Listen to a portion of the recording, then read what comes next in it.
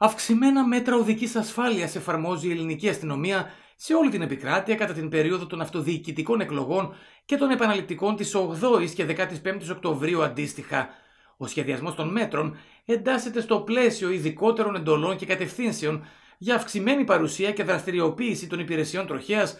ώστε να συμβάλλουν στη διαμόρφωση συνθηκών ομαλής και ασφαλούς οδικής κυκλοφορίας και διευκόλυνσης των πολιτών στις μετακινήσεις τους, καθώς επίσης και στην πρόληψη των τροχαίων ατυχημάτων. Τα μέτρα αναπτύσσονται σταδιακά τα διαστήματα από 6 έως 9 και 13 έως 16 Οκτωβρίου, ενώ θα κλιμακωθούν και θα κορυφωθούν τις ώρες και ημέρες μαζικής εξόδου-εισόδου των οχημάτων από και προς τα μεγάλα αστικά κέντρα.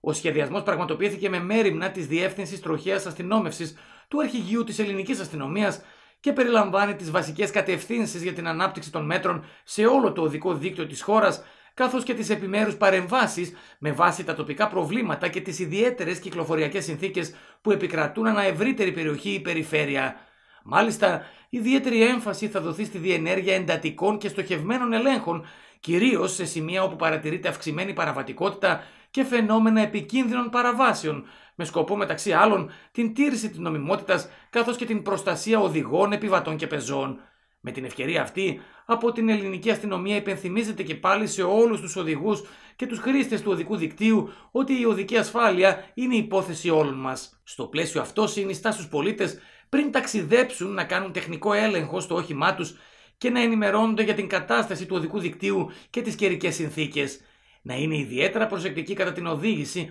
και να τηρούν τους κανόνες του κώδικα οδικής κυκλοφορίας, να σέβονται τις οδικές σημάνσεις και να συμμορφώνονται στις υποδείξεις των τροχονόμων, να μην χρησιμοποιούν κατά την οδήγηση κινητά τηλέφωνα ή άλλες συσκευές που αποσπούν την προσοχή τους, να μην καταναλώνουν υνοπνευματόδη ποτά εφόσον πρόκειται να οδηγήσουν, να προστατεύουν τα παιδιά που επιβαίνουν στο όχημα κάνοντας χρήση των παιδικών καθισμάτων, να φορούν απαραίτητα τις ζώνες ασφαλείας όπως και τα κράνη στις μοτοσυκλέτες, να μην υπερεκτιμούν τις οδηγικές τους ικανότητες και τις τεχνικές δυνατότητες των οχημάτων τους και τέλος να σέβονται και να προστατεύουν τους συνεπιβάτες και τους συνανθρώπους τους που χρησιμοποιούν το οδικό δίκτυο οδηγώντας το όχημά τους με υπευθυνότητα και περίσκεψη.